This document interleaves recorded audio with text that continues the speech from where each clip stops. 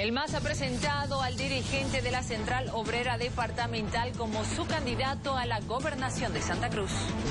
Ya se decidió que Rolando Borda es candidato al gobierno departamental.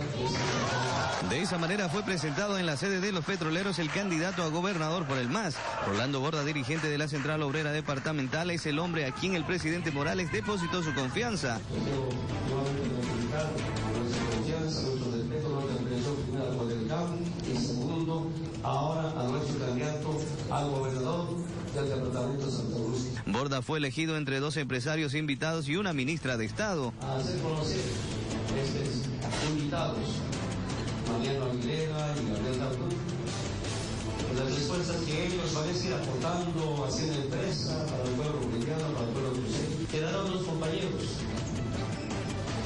el Rolando Borda y el compañero de.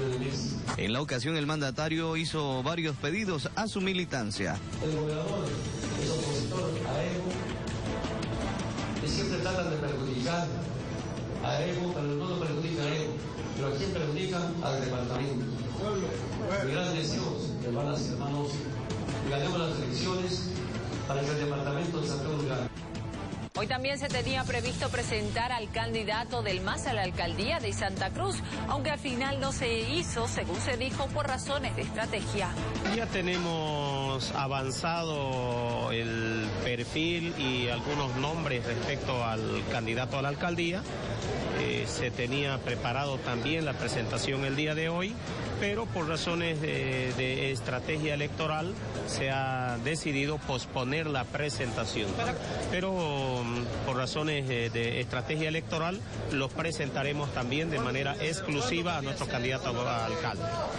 En los próximos días, en los próximos días, no tenemos fecha todavía. Pasamos ahora